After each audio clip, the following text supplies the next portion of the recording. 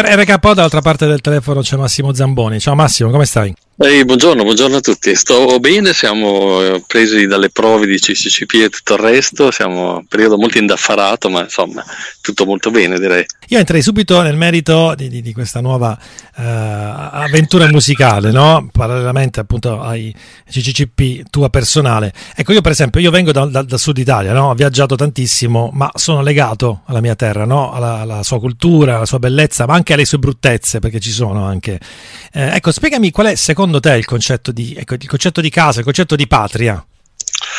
Beh, un concetto occorre diciamo una certa età forse per, per ragionare su questo, no? perché mm. ci sono per un lungo periodo nella vita di ognuno di noi c'è l'idea di cercare l'altro, l'altrove, il, l'inconsueto, cioè di andare a vedere in giro per il mondo quali sono le nostre possibili patrie e se ne trovano, io stesso ne ho trovate parecchie in Mongolia, a Berlino, mm. in Bretagna, in tante volte, però poi alla fine ti rendi conto che insomma eh, è sempre una via di fuga, no? noi noi dobbiamo fare i conti con la nostra lingua, la nostra terra, la nostra discendenza, le genealogie, eh, i luoghi che ci hanno generato e lì si giocano i conti quelli, quelli veri, mm. quelli che, che, chiamiamo casa. Mm, mi è capitato di scrivere un libro, L'eco di uno sparo, che casa è il luogo dove riposano i nostri morti, mm. perché altrimenti rimane questo cosmopolitismo un po' così di, a basso prezzo, no? molto economico che ci lascia scegliere quello che sarebbe meglio per noi, ma in realtà abbiamo dei legami profondissimi, antichissimi che ci tengono ancorati nel bene e nel male, intendiamoci. E, e, spesso sono i, i, nostri morti, la nostra discendenza, quello che ci porta a questo, a questo ancorarsi. Però esistono anche le patrie estere, come quelle di cui parlo in questo album, di cui andiamo a chiacchierare. Esatto, anche se poi andare via eh, porta con sé qualcosa di non so che di malinconico, no? questa linea sottile tra l'abbandono e, e, poter dire anche la scoperta. Poi ad oggi, in qualche modo, chiamandole eh, in modo generico, le migrazioni sono ovviamente diversificate. No? Da una parte abbiamo le nuove generazioni che cercano soluzioni lavorative probabilmente migliori, dall'altra magari gente che scappa dalla propria terra solo per il fatto di voler sopravvivere, quindi ci sono un po' degli equilibri diversi, no?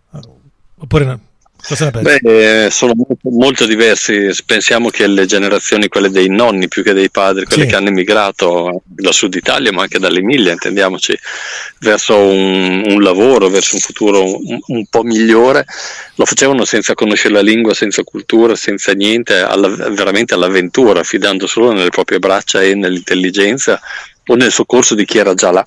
Eh, adesso molti partono sapendo 3-4 lingue, 5 lingue, mm. eh, avendo una laurea, due lauree e, e, spesso si trovano peggio di come si sono trovati i nonni, no? perché ehm, questa grande bolla di sapone che, eh, che, ci fa sembrare che sia tutto facile dalle altre parti tante volte si rivela non essere affatto così. Parlami adesso ovviamente di questo progetto artistico eh, nato in, in, in, Svizzera, cioè eh, che rimarrà una chicca praticamente perché hai giurato no? che non, non, lo fai uscire e quindi raccontami come è nata l'idea, come è andata e come mai poi hai scelto di non pubblicare il disco. Beh, è nata da un invito della radio svizzera di Lugano, uh-huh. quella di andare a registrare nei loro meravigliosi studi eh, un album di canzoni che avesse a che fare con, eh, con l'emigrazione, con il, lo sguardo verso la tua terra, però da oltre frontiera. Lugano ovviamente a pochissimi chilometri dall'Italia, quindi è il luogo perfetto no, per questo genere di ragionamenti. Ed è uscito questo album con canzoni che avevo già duplicato, riarrangiate completamente in altra forma, uh-huh. con un paio di cover che mi premevano molto e che ho deciso di non pubblicare, di tenerlo molto intimo, così come eh, un po' da una parte come contraltare per questo grandissimo clamore che ha circondato i CCCP in questo ultimo periodo sì. e avevo voglia di qualcosa molto a tu per tu, cioè veramente di molto intimo, quindi Quest'album si trova solo mh, mm, tramite il sito di un'associazione culturale che si chiama Rizzo, Rizzosfera, mm. oppure si trova ai miei concerti. e, oppure non si trova. e, e, va bene così, nel senso che un album nato in questo modo non, non, cerca i favori della stampa, non cerca un suo pubblico, cerca uno sguardo molto ravvicinato con le persone. E, mm, per cui io molto volentieri lo, lo regalo, lo, lo, lo, porto ai concerti, eccetera, eccetera, però mi va di fare questo, credo che mm. sia istinto la cosa più sensata. Ecco, poi live, tra l'altro, ho visto il video, è una situazione molto, molto bella, molto intima, ehm, anche live è stato molto ecco, interessante, però volevo chiederti, dato che hai citato poco fa, no? hai mm, tirato in ballo le due cover, ecco, nei tuoi libri, nelle tue composizioni, no? c'è sempre un legame forte con la musica ecco, popolare, no? ecco, i suoi stilemi, potrei chiamare così, come se fosse proprio una, una chiave di lettura no? per poter spiegare la, la, la vita quotidiana, come mai?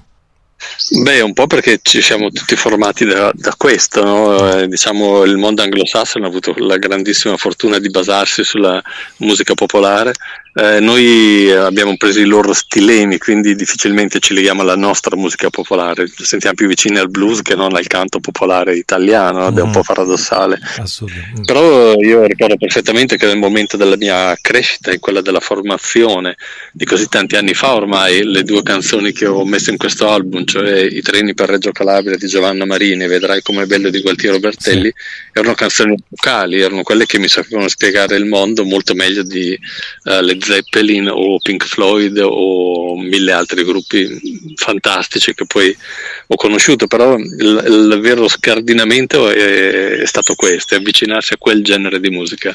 Mm. E quindi se parli di patria, di viaggi, di andare via, io credo che bisogna farlo con quelle voci, con quei suoni, con quell'intenzione. Sì, poi mi ha colpito anche il fatto, per esempio, no? prima parlavo di malinconia, ah, mh, mm, sorella sconfitta, malinconia, però poi c'è un'apertura positiva degli insegnamenti no? che tutto ciò può dare.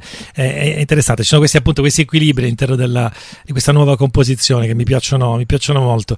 Eh, poi scherzavo poco fa, no? ti ho detto che insomma sei super attivo come sempre, eh? insomma, bestiario selvatico, la, la mia patria natale, hai fatto di tutto, insomma, poi ritorno appunto di CCCP. Ehm, al volo ti chiedo anche, insomma, ti ringrazio ufficialmente poi in diretta per avermi fatto vivere questa emozione fortissima di, del concerto a Berlino. Um, ma eh, ecco, mm, voglio chiederti, l'emozione ecco, di salire sul palco dell'Astra, com- eravate visibilmente emozionati, com'è stato?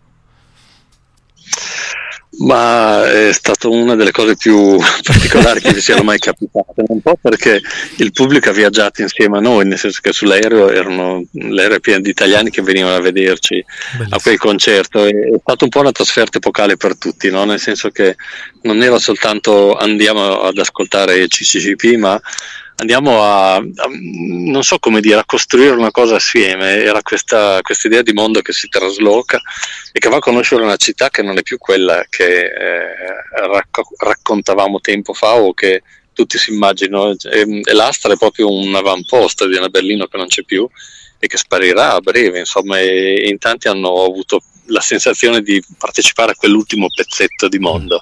Esatto. È stata molto forte come impressione. Infatti, esatto, io tutt'oggi, ripeto, sono veramente contento di, di, di, esserci stato.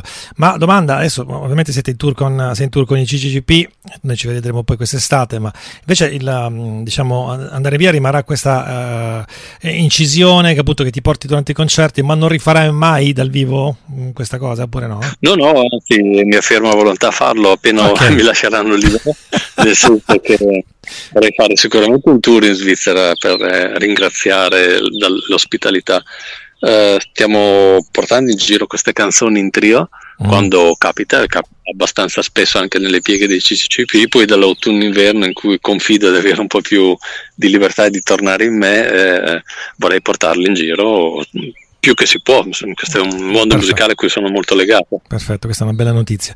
Va bene Massimo, io ti, ti ringrazio veramente tanto. Um, ti posso chiedere... io per la primizia. eh, non ho ancora parlato di questo album, credo con nessuna. Grande, insomma, vabbè, questo è una grande, un grande onore. Vabbè. Allora un saluto a RKO da Massimo Zamboni, grazie per l'ospitalità e ci vedremo presto in, in molte diverse forme.